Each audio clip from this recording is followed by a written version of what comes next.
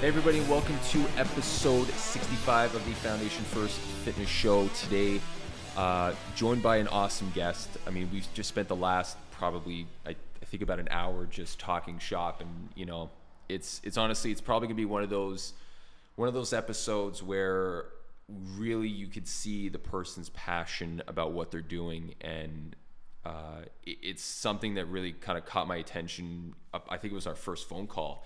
You started talking. I was like, hold on, hold on, hold on. I had to like literally was pumping the brakes, and I'm like, I want to hold this for this for the for the interview because this is like it was just awesome information. Anyway, let, let's just get this thing going.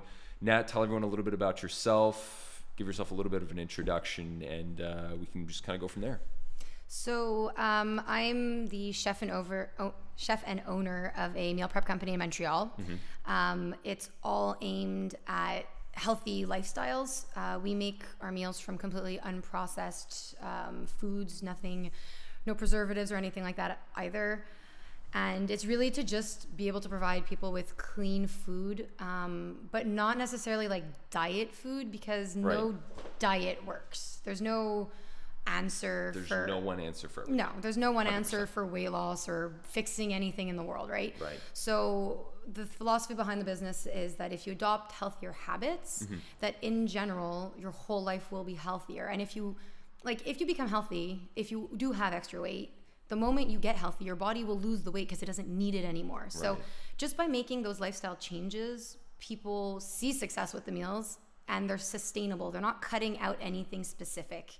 Um, I'm not anti carb, anti sugar, anti fat, anti anything. It's food is food. Um, and you should be able to eat what you want in limitations, obviously. Like, don't eat like a pound of candy, but also don't eat a pound of broccoli. You know, like both of them are not great for you. So um, that's kind of what we do. Um, in terms of me, um, I'm a chef by trade. I went to the ITHQ uh, in Montreal, which is a French cooking school here, uh, subsidized by the government.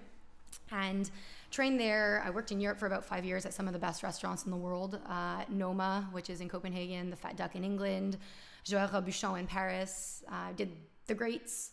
Um, and then I came back to Montreal and actually ended up leaving kitchens for a bit because the industry here isn't exactly the same as Europe and I didn't love it as much.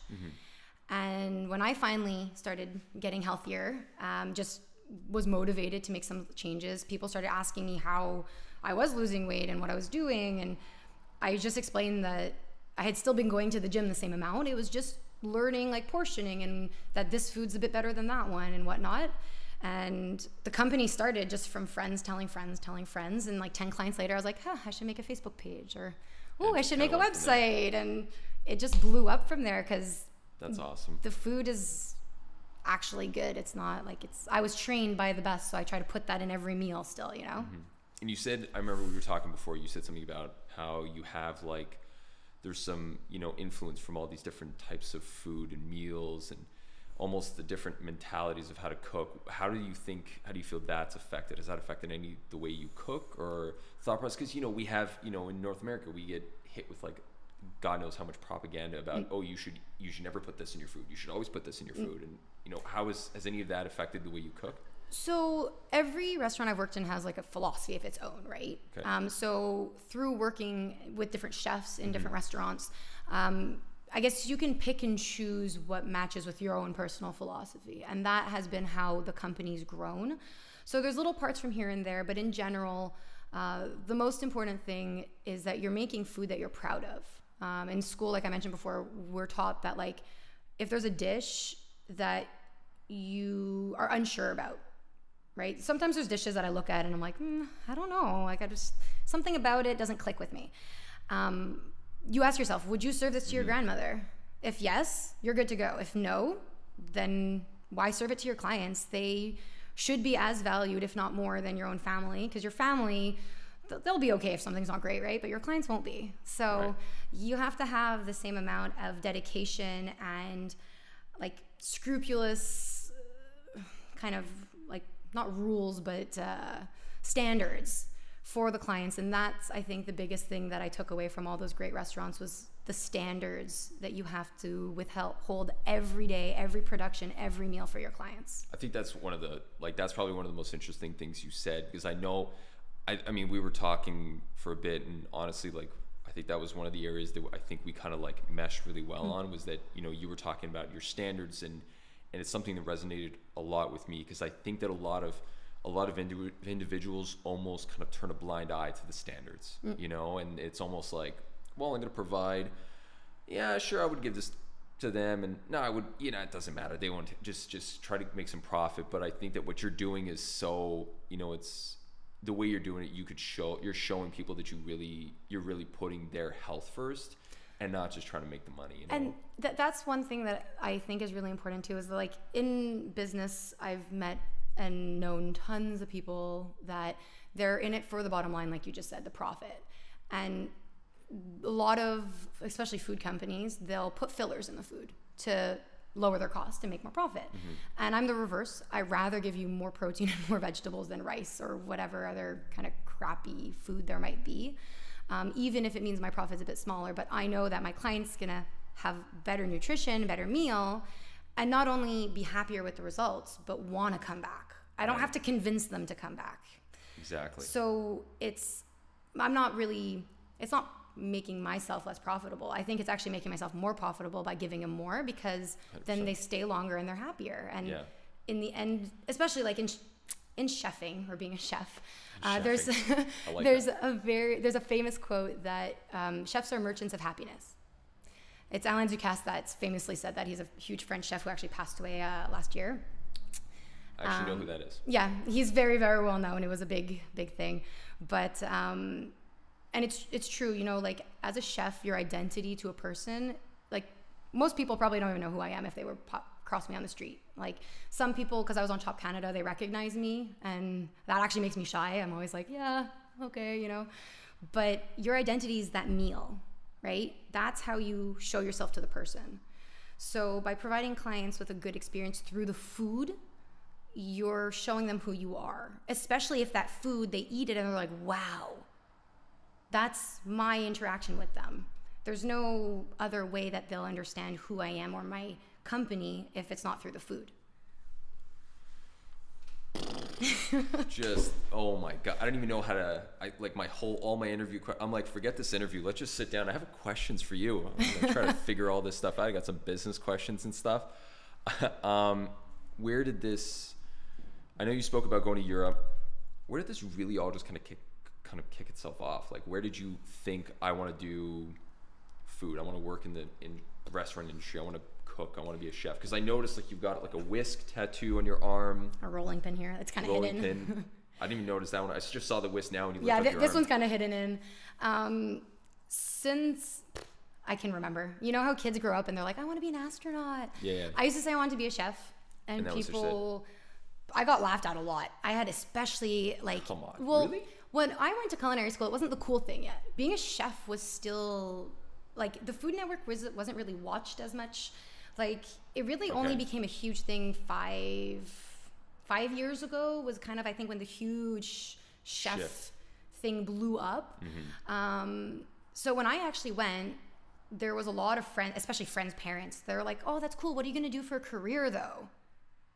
And I was like, "This is a career." Like, it wasn't taken seriously. Especially like I come from a family that most of it went through very formal education, like university. So when like my aunts and uncles and grandparents found out I wanted to be a chef, there was some that were kind of like, okay, like they didn't get it. Uh, I luckily though, like I grew up in a household like my parents were always very much like follow your dream. If you do something you're passionate about, you will be successful. Um, and I, like, I mean, my first memory in a kitchen, like I mentioned before, like I have like the tattoos of the three Rice Krispie guys on me because it's my first memory of a kitchen is making Rice Krispies with my mom. So, like to me, being in a kitchen was my calm place. Most people, it's the stressful place. They don't Right. like to cook. Like, it is stressful, but in that stress, there's something therapeutic, and I've always felt that. Like as a teenager, you know, you go through heartbreak. I would like sit down on the kitchen floor, and that was my zone. Like I wouldn't go to my bedroom when I was upset. I'd go to the kitchen, you know. So it just always, I guess, I don't know. It's just always been my thing. That's crazy. And so that kind of led you into culinary school, led you to Europe, led you to start wanting to do this business. Is there any, do you think that fitness or health, does that have any influence on what you're doing right now? Oh yeah, for sure. Um, personally, I have some health issues. Um, so the food I eat at home is, um, I don't know if the word calculated is the right one, but like very, uh, there's certain foods I can eat, and there's certain foods I can't, just because it'll put me off for a couple days. Um, and I only really actually realized that when once I started getting healthy, because before I was really healthy, um, I always cooked healthy food in portions that were not suitable for me obviously but there was certain ingredients that i would use that i didn't realize weren't great for me and i actually felt pretty crappy every day but i was so used to it i didn't really know so once i started actually changing my habits and feeling great I and then when I would eat like that one ingredient that didn't sit with me well, then I was like, oh my god, this is really bad. Holy, just- like, I, but I had been living so long, live feeling terrible that I didn't really know it. Right. So now, um, like the the meals I eat at home are very precise. I guess you should I could say, you know. Um, and meals I make for my clients are the same way because I don't believe that I should serve them something I wouldn't personally eat. Like I said, the whole like would you serve it to your grandmother thing. And I personally I can't have anything that's processed, no chemicals, no preservatives. Um, I mean, I I don't eat red meat personally. Doesn't sit with me well. I started eating meat in the last year because of the medical issue. My doctor actually told me to eat meat and less vegetables because I was vegetarian for nine years, which is quite rare. Doctors usually tell you to eat less meat, more veggies. Right. Um, but for my condition, it was the reverse. So, um, you know, it's the food I make is really dependent on my health.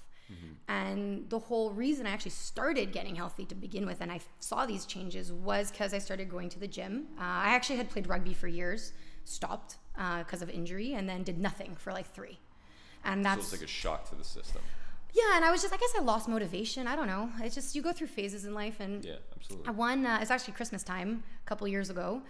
Um, I just got was like, you know what? I'm gonna start at a gym, and it was December 27th. I remember literally the holidays, and I found a gym that kept me motivated. Um, just because the trainers really care about like the clients, they help you, they push you to. If they see you're in a comfort zone, they push you to go better and better, which I really liked. Um, and it's always different exercises. It's never treadmills every day type thing.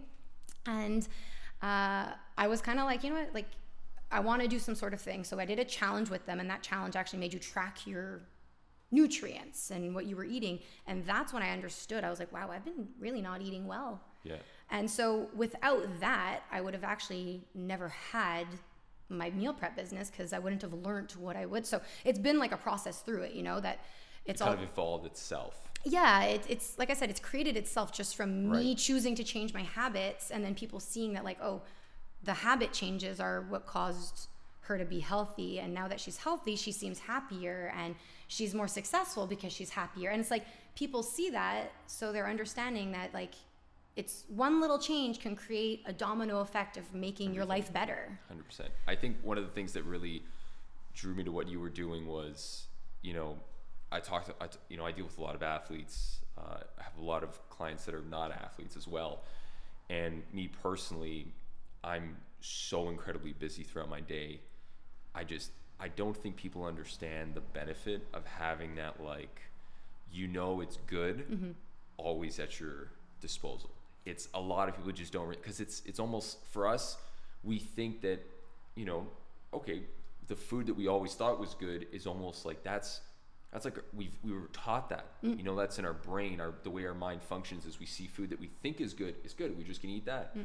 And then when you're busy, you start you know you cut corners, and we don't realize how much those corners that we're cutting or the amounts that we're eating is affecting us. So having almost that regularity and the quality in that mm. regularity i think makes a huge difference because it's, it's one of the things that i've done recently we spoke about that mm-hmm. stuff like i have a setup here just for myself that when i have it's quick meals but everything mm-hmm. is pre-calculated. So i know that i'm not eating too much i'm not eating too mm-hmm. little uh, it's nothing that's and it's all and you i mean we spoke about that I just showed you it was very everything's very clean everything's very well well done. It's not just kind of you know cut corners, go find some stuff, whatever. Just eat whatever is available. you know. It's it's funny you say that because like you said we were taught things in the past. it's actually uh, today this morning I actually saw one of my old Concordia professors because I studied like food studies at Right. Concordia in anthropology, and she was in nutrition and she's in the middle of writing a book called What Is Food and it's to reteach people where the food actually comes from, what to do with it, and like the nutrition behind it. And um, we're talking about how like someone says carbs. There's a preconceived notion that when you say carbs, people think potato or white yeah. bread or, but like carbs, of fruits are carbs, 100%. vegetables are carbs. So Absolutely. they think carbs are bad when they're really not. Like the other day, I had a meal. It was it, delicious. Actually, I was like unsure of how good it was gonna be, but this um, eggplant lasagna with cashew cheese and like a garlic oat crumble on top, right? Um, and really, the only in theory starchy carb, bad carb per se, was the oat crumble, which is like a tablespoon, so whatever. But when you look at the nutrition of it, there was 60 grams of carbs because yeah, there was eggplant and tomatoes and cashews and so I had a client that was like, "Oh my god, this is too high." I'm like, "No, it's vegetables though. Yeah, like yeah. these are It's good for you." So there's preconceived notions that I really want to break the barrier with with my meals. I like to try to teach my clients, but there's also some people don't want to learn either. Um, but I think that because I give the nutrition nutrition information on them and then their ingredients, so they can see like, okay, this is high fat, but there's no There's no where's There- the where's the where's the bad part of it? exactly, or like this is high carb, but where's the bad part? So people are starting to understand that there is no such thing as like the ideal meal, let's say, right? Mm-hmm. Low fat is not good, especially if you're like you low fat yogurt, because if they're taking out that fat, they're putting in other crap. Yeah, yeah. You know, sure. like- I tell people that all the time. I'm like, when they show me low fat yogurt, I'm like, No. that's not good. No, yeah. So if they're taking things out, it's not good for you either, because they're enriched with other things, right? Just even even milk. Milk is now enriched with extra vitamins, but that's because they've no killed sense. all the vitamin. Like, there's no winning sometimes, right? No, no, but, right. um, but I, it's interesting because there's like stigmas in food that have to be broken, like the gluten thing we are talking about before. Gluten's not really bad. It's the modern gluten that has Mm-hmm. issues. Um, and a lot of people, unless celiac, can eat it, but they're eating the wrong versions of it. So, you know, there's there, there's things that our meals kind of break the barrier of, and not only that, but you were saying that like there's the convenience of having the meal ready, and I thought that was really funny because when I started the company, um, I would make the meals for my clients, and then during the week I'd cook my own at home. And I got to a point that the company was getting bigger and bigger and bigger, and I'd get home and I'd be like, stressed out. And I'd be like, oh my God, I need to make the food. And like going crazy. And one day my boyfriend was like, why don't you just like make them and we'll like take it out of the mortgage payment and we'll be fine. And I didn't really like the idea because it was kind of like I didn't know how to separate that from the business because I was still learning to run a business, right, at the time. So, yeah. And I, I mean, in the beginning, I thought my clients just didn't like to cook or didn't know how, right? I didn't really understood it, understand it was for busy people. Oh my God, it was life changing. Just eating my own meals was life changing because I get home and I'm I like, I work 19, 20 hour days. Instead of having to also cook and clean, I just reheat. Yeah. And it's Oh my God. I, I don't think you know what I was I was having a conversation with someone about that. I'm like, if if I didn't if I didn't live as far away or if I didn't have clients that I had to go see, every single person, every single client I saw was coming to this office, I would either A have a place that's literally right outside here, or B, I would take the bus just to be able to buy myself some time to do work and have someone try or if I was making them, I would literally Uber every single day. I would never own a car because the time value is so for a busy person, it's so important. And yes, there's a time to be to enjoy cooking and there's a time to do that and there's not it's not a bad thing to say like you should never cook and you should replace it with this but when you're busy like the value of eating things that are good for you that are not going to slow you down Well, that are thing, not going to make you gives feel you tired, energy. it's going to give you sustainable energy it's monumental and people Mm. don't realize that and i think that's one of the most important things that i think you're doing which i really want people that are listening or watching to Mm. really take away from that because that's where i think it really comes down to is that there's so much more like we think we think energy the first thing we think of is coffee you know we think energy we're like oh i need to have like a red bull i need to like get some sugar in me i need to And it's like, okay, maybe you're just not eating enough of the right Mm. things because your meal's not balanced because you don't have time to eat properly. So you're quickly going to the thing that's pre-made, that's not like what you're Mm. doing, that's quickly just thrown together,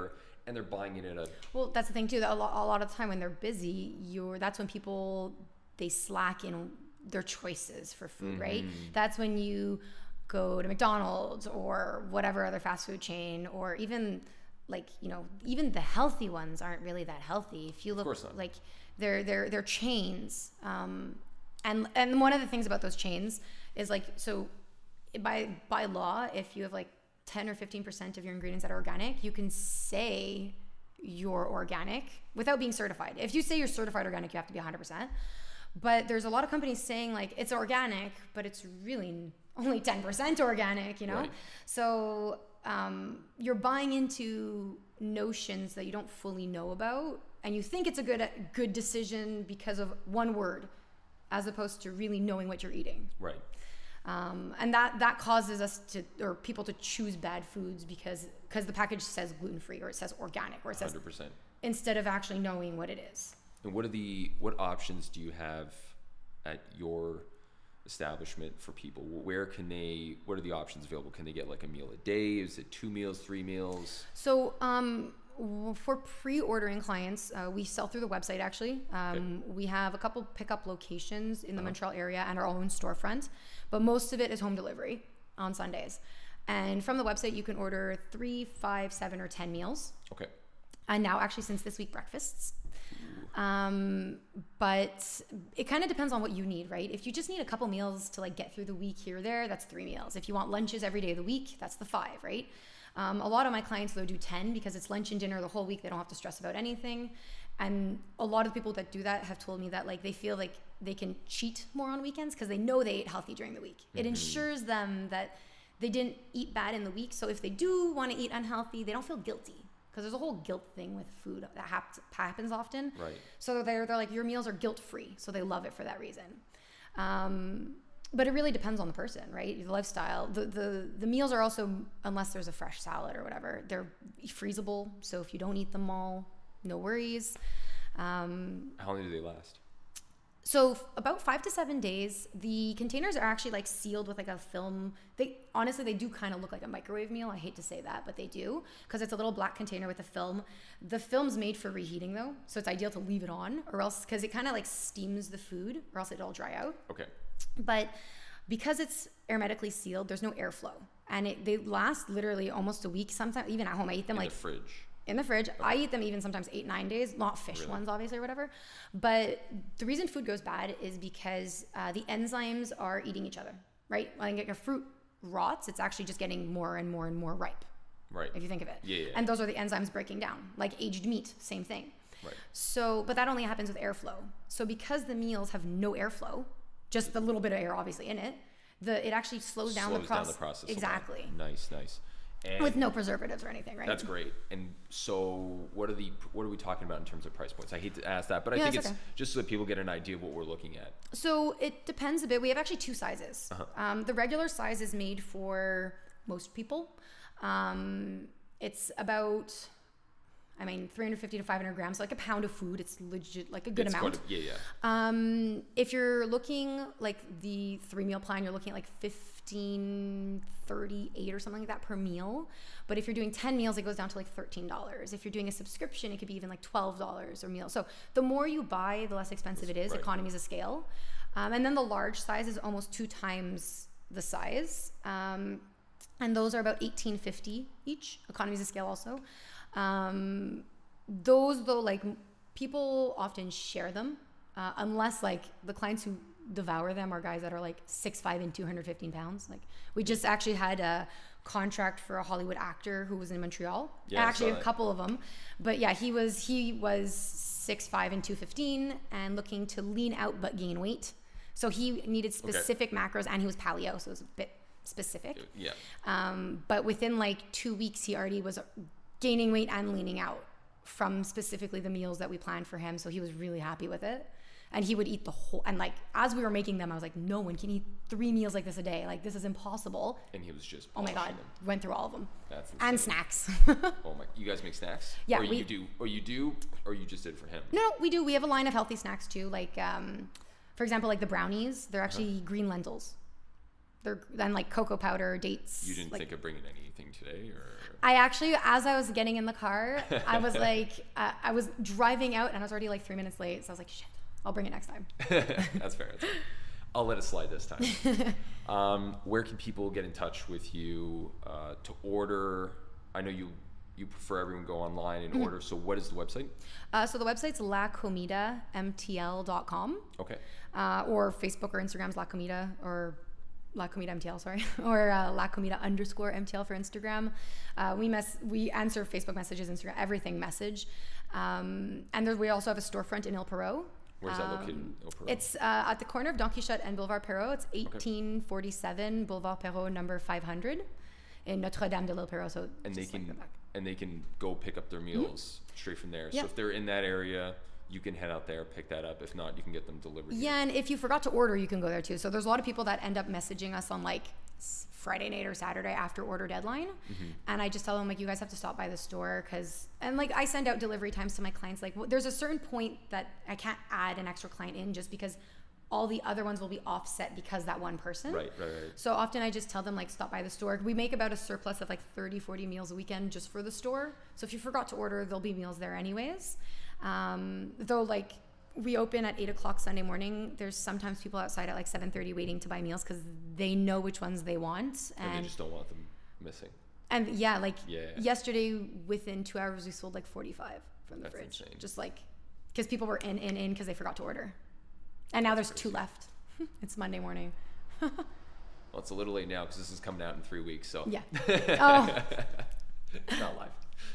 Um, thank you very much for coming in. I know this is a little bit out of the way for you. Uh, I mean, honestly, this is. I, I hopefully will be able to have another talk. s- Hopefully in the future, and honestly, like I, I really am excited to see where this goes because I think it's gonna be really cool to talk to you. You know, down the road when who knows where this goes but i think you're i think you're doing something that's really amazing i think your value proposition is is huge and i think a lot of people a lot of listeners out there viewers honestly i know that not all of you are in the area and have access to this but if you are thinking about that i, I think one of the take-home messages today is is really think about what you're eating you know where it's getting sourced and the regularity of it you know how you're able to make sure that you're eating the right meals at the right times and you're not just resourcing resor- resorting to that was not english resorting to you know whatever i can grab off the shelf. So Nat, thank you very much for being here today Well, thanks for having me. and uh, hopefully we'll see you soon Yeah. and until the next time guys keep building that foundation